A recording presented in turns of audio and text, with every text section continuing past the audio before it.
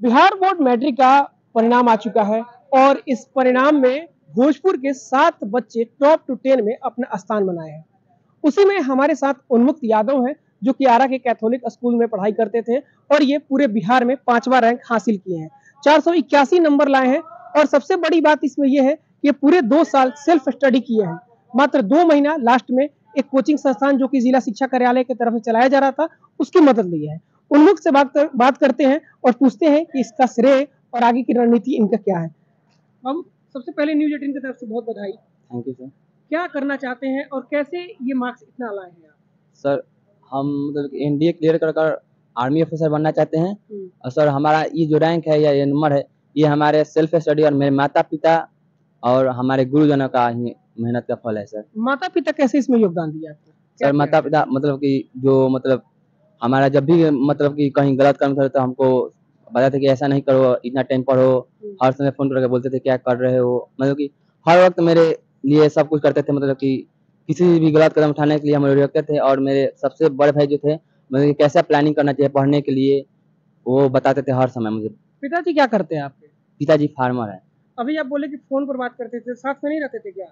नहीं सर हम यहाँ आप अपने एक बड़ा भाई है चाचा जी का लड़का। उसके साथ रहते थे। आराम में यस सर अच्छा यहाँ पर खाना पीना कैसे खाते थे बनाते थे? सर खुद बनाते थे सर। कितने लोग रहते थे आप लोग? सर दो लोग। दोनों खुद से बनाते थे और पढ़ते भी थे? यस सर तो ये उन्मुक्त है और ये कह रहे हैं कि खुद से ये पढ़ाई भी करते थे और खाना भी खुद से बनाते थे। अब ये पांचवा रैंक हासिल किए हैं पूरे बिहार में। एक बहुत बड़ी उपलब्धि है इनके लिए। आगे चल करके क्या प्लानिंग है आपकी? सर आगे चलकर हम सर आर्मी ऑफिसर बनना चाहते हैं sir. Army officer yes sir NDA clear करना चाहते हैं? यस सर तो आगे यहाँ से बाहर निकलना चाहते हैं यहीं रह करके तैयारी करना चाहते हैं? सर वो मेरे बड़े भाई जो है ना हम्म, वो मुझे हर प्लानिंग कर मतलब पहले से मेरे लिए प्लानिंग करते हैं और वही बोलते हैं कि ऐसा करो वही हम करते हैं सर। मेरे बड़े भाई मतलब कि क्रैश कोर्स का ज़िक्र किया है दो महीने का वो क्या है?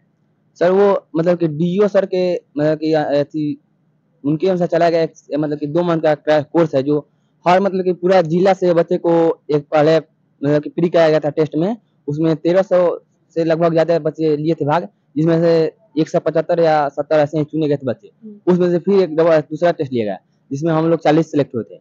और चालीस से मतलब कि नाम मतलब यहाँ पर आकर नामांकन हुआ और वहाँ से हम लोग बालिका विद्यालय जो है तो राजकीय हम्म। विद्यालय उसमें हम दो मंथ तक क्रैश करे। मतलब कि हम लोगों का जो प्रिपेयर हुआ था ना उसे हम लोग का अटेंशन का मतलब कि कैसे तुम लोग लिखे लिखे हुए या कैसा डाउट है तुम लोगों का हर चीज़ मतलब दो मंथ में हम लोग का प्रिपेयर कराया यस सर दो मंथ कितने देर उसमें पढ़ाया जाता था?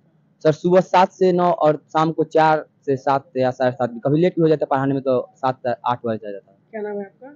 उन्मुक्त कुमार यादव। कितना मार्क्स आया है?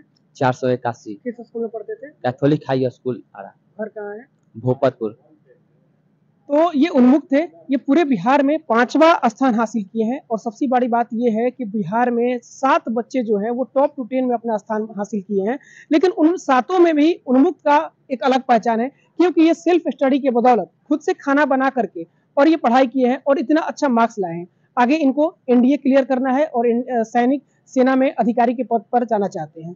अब देखने वाली बात होगी कि इतने अच्छा मार्क्स लाने के बाद भोजपुर जिला प्रशासन या बिहार सरकार इनको किस तरीके से मदद करती है? क्योंकि इनके पिता भी किसान हैं और बहुत ज़्यादा आर्थिक रूप से मज़बूत नहीं है। न्यूज़ एटीन के लिए भोजपुर से गौरव सिंह।